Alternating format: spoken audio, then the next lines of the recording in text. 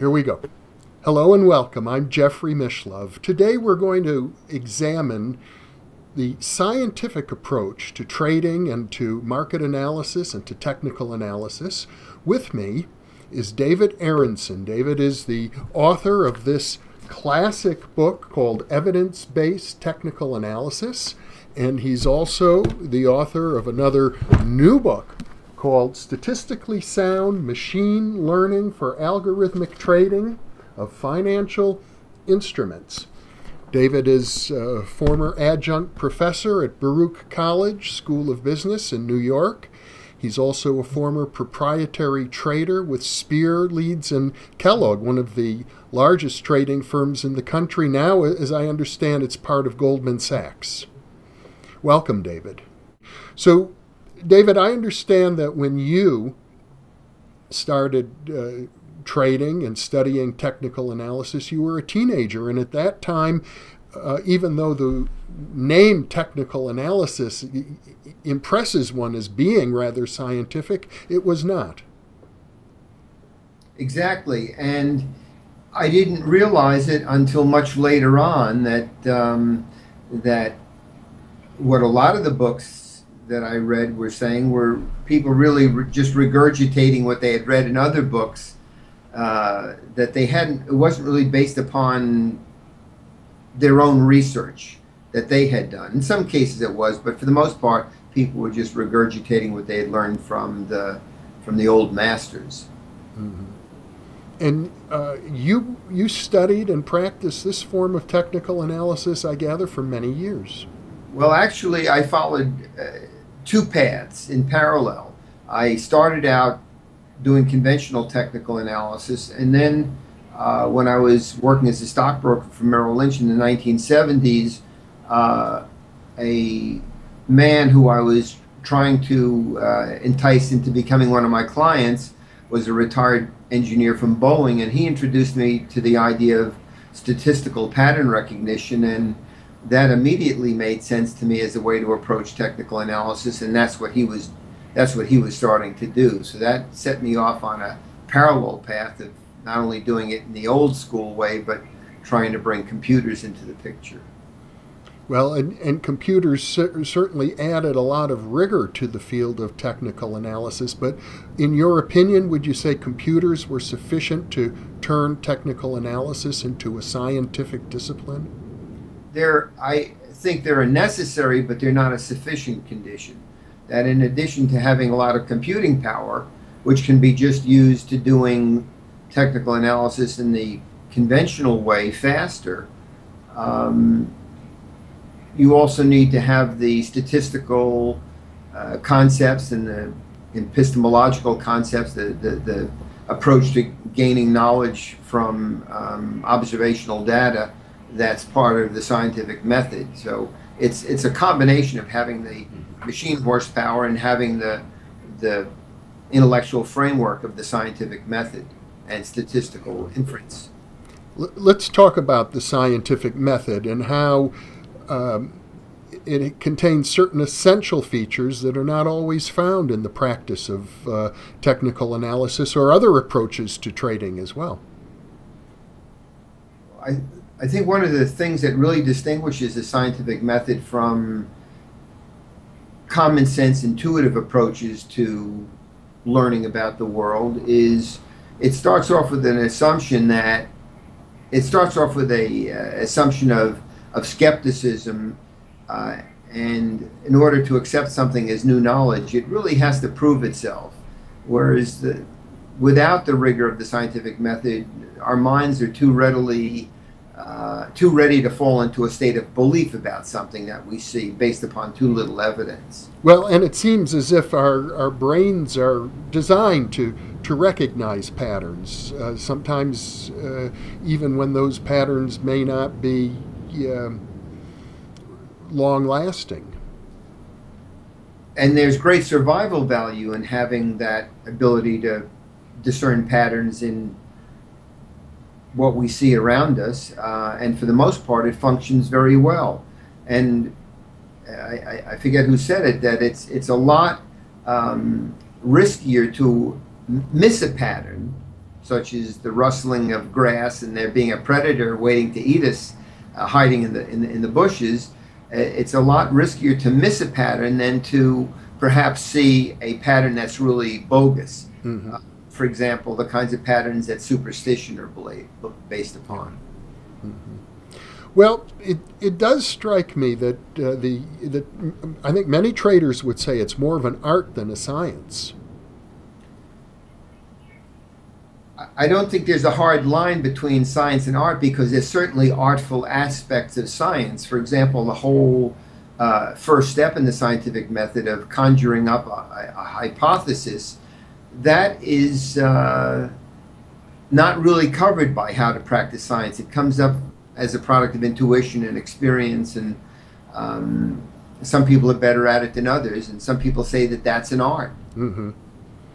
Well, there are other features to the scientific method uh, that I would like to be more specific about. One, for example, is the application of statistics and, and the idea of uh, disproving a null hypothesis. Can, can you elaborate on that?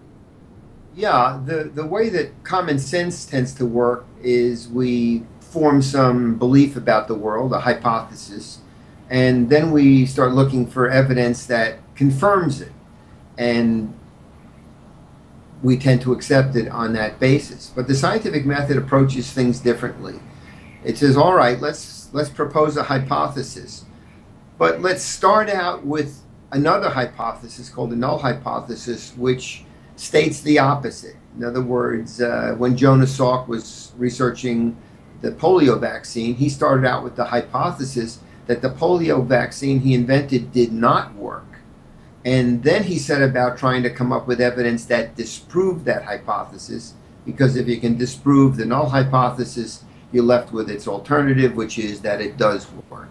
Mm-hmm. So the scientific method starts out with the notion that the new the new thing we think we've discovered really doesn't work or it's not real. And then the burden of proof is on that new discovery to show that it really does work. And the way that that happens is that we can, from the hypothesis, uh,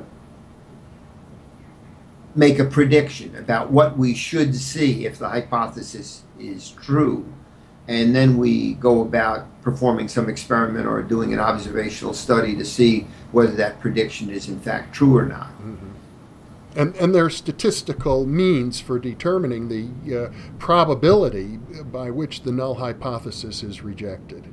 Uh, exactly. That's the thing that statisticians call the p value. Uh, that when we're making an observation on the world, really all we have is a sample of data and it's very easy for a sample of data to be off simply as a result of random variation. So we, in order to see an effect that we really believe in, we have to see an effect that's large enough or far enough away from what the null hypothesis predicts to say, okay, what we've observed is so different than what we would have expected if the null were true. In other words, that we have not made a genuine new discovery, that we can then safely reject the null. Mm-hmm. So, in, in, a sense, we're dealing not only with statistics here, but we're dealing with probability theory. Uh, very definitely. Statistics is very much uh, involved with probability theory because typically we're making observations on a random variable, and random variables vary randomly. And we need to make sure that when we see a real result, it's far enough outside the range of random variation that we can say this is not just due to random variation. It's due to a real effect. Mm-hmm. And, and one of your concerns, I gather, with regard to the practice of technical analysis is that there's, there's a human tendency to look at random patterns and to project uh, meaning onto them. And in fact, I know some experiments have been done with stock charts that were generated using uh, random numbers and uh, professional technical analysts weren't able to distinguish them from actual stock charts. That's true. That's true. I uh, used to start my class off every year by giving out this uh, random versus real test. And when the students could not tell the difference, I warned them that by the end of the course, they still wouldn't be able to tell the difference. Mm-hmm. But, but there's that tendency again, um, seeing patterns in randomness. That's that overly aggressive uh, tendency that's very valuable for us generally to see patterns. Mm-hmm. And uh, because in the real world, we're, we're dealing with things where uh, there really are well behaved phenomena, like, for example, a predator perhaps waiting to eat us. And it's very useful to be able to pick that up. And so if you occasionally hear a rustle in the grass and it turns out to just be the wind, well, there's no big cost in that. Mm-hmm.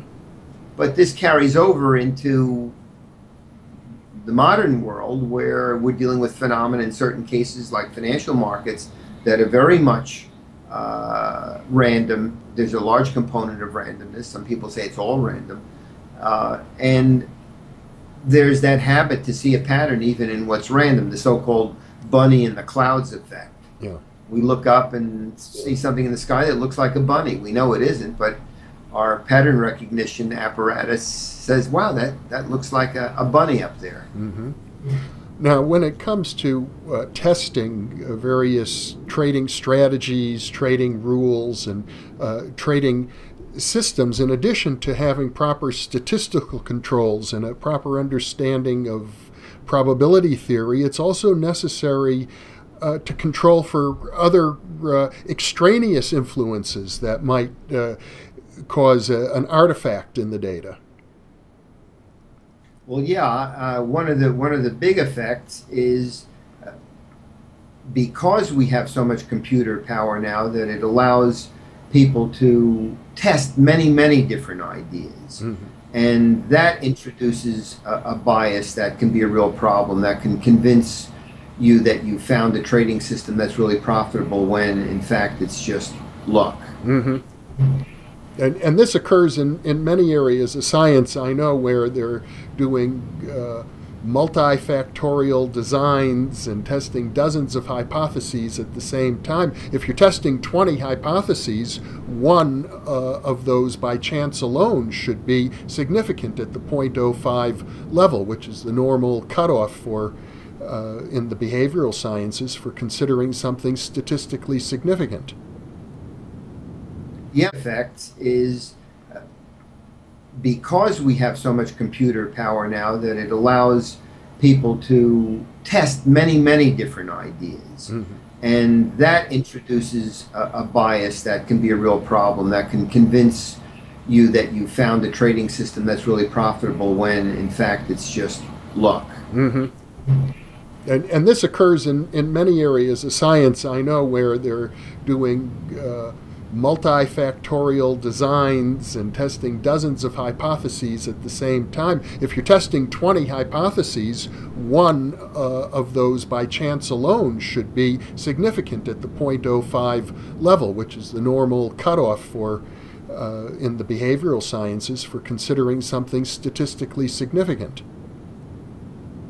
Yeah, and that needs to be taken into account. The number of different trading systems or hypotheses or variables that you're examining need to be considered when you're deciding whether you found something of statistical significance or not.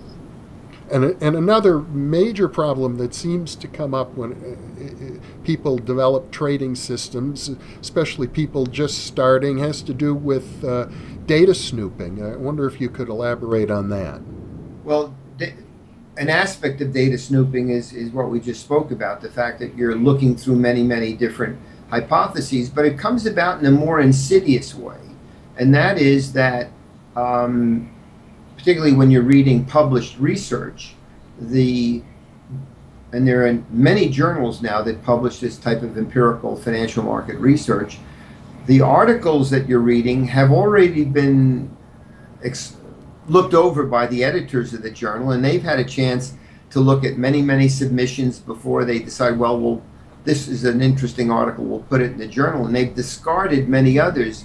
We don't know how many others they've discarded, but yet the number that were thrown away is very critical in deciding whether or not what appears in the journal is of any significance or not. Mm-hmm. And so that's it's more, a more insidious problem because we don't know how many uh, articles were as they say, kept in the file drawer. It right, the file drawer problem. Yeah.